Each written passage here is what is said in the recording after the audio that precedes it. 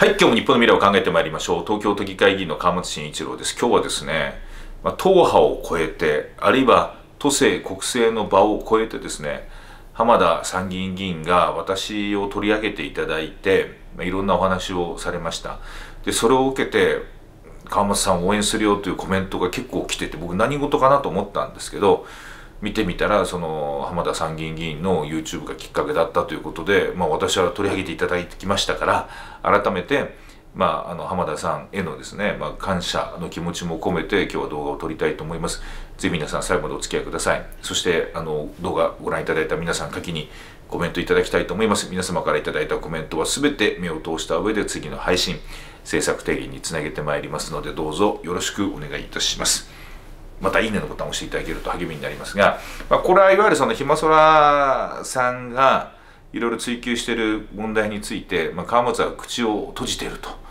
いわゆるそのいろんな人たちにまあ首輪をつけられたとか圧力かけられたってまあ散々各方面から私が言われてるわけですけれど、まあ、この件に絡んでですね、まあ、川松葬儀を見捨てずにあの頑張って応援していきましょうみたいな感じの動画を出していただいてそれを受けて応援しますっていう方がコメントが出てるんですけど大変僕嬉しく本当嬉しく思いました、うん、ただ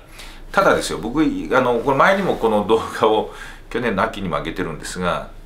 なんか特定の人からまあ、特定の人ってここんな人から「お前こんな質問取り上げるんだ」とか「この問題やるんだ」ってことはあの言われてません言われてません。ただし、まあ、ずっとその一昨年の秋冬ぐらいから若年被害女性等支援事業を追いかけてきたあるいは配偶者暴力セーフティー対策セーフティーネット対策ですね。この事業を追いかけてきた。で一方でひまそらさんが開示請求をバンバンかけてきてこの間国家賠償請求訴訟も、まあ、ひまそらさんが勝利という形になりましたよね。東京都が負けると。でそういう状況の中であのー、お前ら川松さん何やってんだとひまそらさんがいろいろ調べてるのにっていうご意見をたくさんいただいてるんですが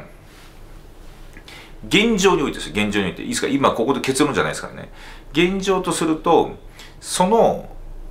いわゆるそのスキームですね。公金が支出されていくスキームに手続き上に可視があったかないかってことがあのまず重要だと思うんです。それがま民主主義っていうのはプロセスが大事にされますからどういうふうに予算案が立てられてそして予算が執行されたのかっていうことですよね。でここをま見ていくと。で特に私は時としてはノリを超えないというのは皆さん方からも批判を受けてきたわけでありますけれどもノリを超えないにしてもただ制度上欠陥があるんだったらそれを直していく。だから令和、えー、この4年度と5年度では若年被害女性等支援事業の在り方もだいぶ変わった。だから4年度に入ってる団体も5年度には手を挙げてなかったりするわけですよ。で僕はその制度変更してきたってことには自分自身はその揺るぎないあの思いがあります。で一方でそのいろんなテーマが入ってくるしその書類も膨大になってくるんですけどだんだんとですね手詰まり感があるわけですよ。正直なところ。ずっと僕らがこれおかしいなってあれこれ契約ってどうなってんの？あれ？原則どうなってんの？あれ候補上の契約って何だろうってずっとやってきたことにすると結構ちょポツポツポツポツこう問題提起をして改善問題提起をして改善問題提起をして改善をされてきたのでなかなかその改善するポイントがあのー、薄くなってきてるっていうかだんだんその改善されてきたんで少なくなってきてるからまだ気づいてないところもあると思いますけれども、まあ、時間がかかっててダラダラした感じに見えるのが皆さんのストレスになると思ってます。それはもう自覚してます。でもやっぱり僕らあの当然お金がどういうふうに使われているかってことはチェックしなきゃいけないし公金が出てるんだったら領収書はどうなってるのか実態はどうだったのかってことは調べるのは当然役所もそうだし議員にしても責務ですよ責務なんですだからそれをやめるって言ったわけじゃないんですけどだんだんなんかこういつまでその問題やってんのみたいな雰囲気があるわけですよ今までも僕とあと数名都議会でも数名しかやってこなかったくらいなんかほとんどの多くの人たちの関心を寄せてない事業でもあるわけですねだからいつまでままだまたやってんのかみたいな感じになってくるとだんだんそれがこう広がっていってなんか僕だけ浮いちゃうみたいな感じになってるのをもう一度あの取り戻していきたいと思ってますでそのためには、ま、批判もさることながらやっぱりこう的確にこの問題おかしいってこの制度を変えなきゃいけない今回の国家賠償請求訴訟については東京都の情報開示のルール自体がやっぱりおかしかったんだと。それをもう国賠償で国賠訴訟でですね認めた形なんだから東京都は速やかに僕はそのルール改善情報改善のルール改善すべきだと思うんですね。当然情報公開一丁目一番地ですからって言ってきた都知事だから。でもそれが今のところこうよく見えてこないってこともなんかこうもどかしいなと思いますよね。でもあの浜田さんからそうやってあの勇気をいただいたのであのぜひ皆さんのご意見もいただきたいと思います。えもちろん僕はあの逃げることもないしあの潰されるというふうに皆さん思われてるかもしれませんけどそんなやわじゃないし